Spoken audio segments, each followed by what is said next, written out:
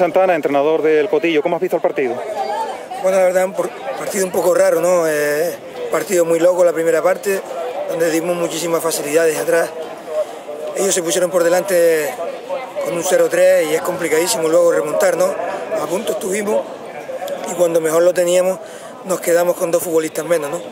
Bueno, eso es el fútbol, nos sirve para, para pulir errores que hemos cometido hoy y vamos a ver si, si podemos reconvertir esto otra vez, ¿no? ¿Con qué te quedas con lo bueno de este, de este partido, lo bueno que has visto?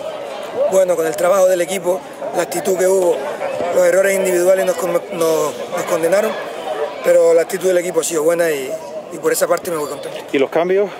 Bueno, los cambios tenían que hacerse, los futbolistas ya había que meter ya refresco, nos habíamos quedado uno menos y había que meter a los futbolistas de refresco y, y eso es lo que, lo que hubo. Siguiente partido, ¿tienes a todo tu plantel? Bueno, no, tenemos dos expulsados de hoy, que no vamos a poder contar con ellos, pero bueno, tenemos plantel suficiente para, para resarcirlo, ¿no?